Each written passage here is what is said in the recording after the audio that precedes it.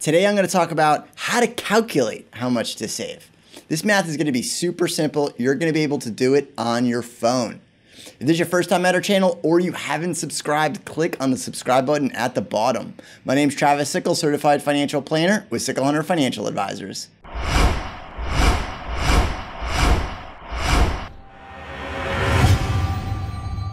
If you're trying to get to a goal, say buying your first home or going on a vacation, you want to save for it, you need a better way to do it and you want to calculate it. You want to know how much to save, right? So we need to upgrade this to something that's going to work a little bit better for us. So here we go. I'm going to give you a link to the calculator that I use on my phone. It's super simple. Instead of going out and buying a financial calculator, you can actually download a simple app to do the math for you. It's fairly simple. I'm going to show you how to do it. So today's example, I'm going to talk about buying a home. So let's say it's your second home or your first home. It doesn't matter.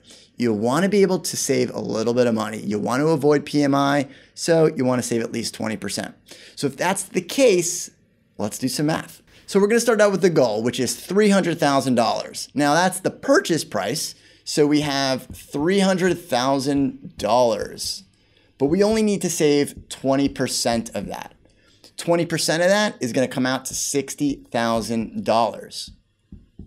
Now, the other thing that you need to know is when do you want to buy the house? You know, when is a reasonable expectation that you can afford the house? Well, maybe you don't know. So we're going to have to work on some math. So one of those things is the time frame. So whether that's three, five, or 10 years out. Now, I'm sure that you want to buy this house as quickly as possible. So here's how we can do it. So the $60,000 goal is what we're trying to achieve.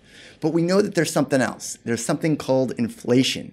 That's the price of goods every single year, slowly increasing. Well, sometimes we don't even feel it, but it does happen. So let's assume, we're gonna have to assume something. We're gonna have to assume a rate of inflation. So we're gonna assume this 60,000 right here is growing at a 3% annual rate of return. That means if we're gonna buy this house in five years, that 60,000 is going to be more. So let's say that's five years at 3%.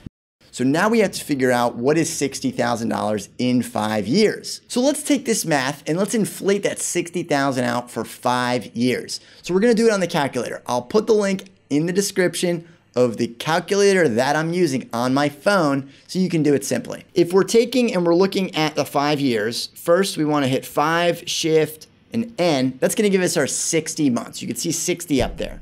60 payments.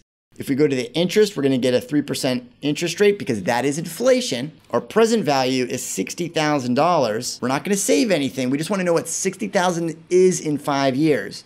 Our future value or FV is going to give us that $69,697. Now don't worry about that negative. You just have to save the $70,000. That's the number that we're looking for. So now we know that in five years, that same 60 that's today is going to be 70,000 tomorrow. So now we have to figure out how much we need to save. So what we need to now assume is what rate of return we're going to get in the market. So let's say assuming a 7%. So let's change that interest rate to 7%. We're still going to keep it with the five years or the 60 months. And our present value is now zero because we have nothing saved. And if we hit the payment key, the PMT, that's going to be $974 per month at a 7% rate of return.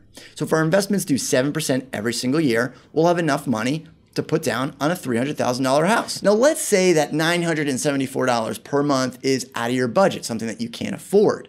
So that means we're gonna have to prolong the goal or push it back. So instead of five years, maybe we'll go to six or seven years. So you can make that simple adjustment right on your calculator by just hitting seven, shift, and the N key, and you can see that changed to 84 months, which is seven years.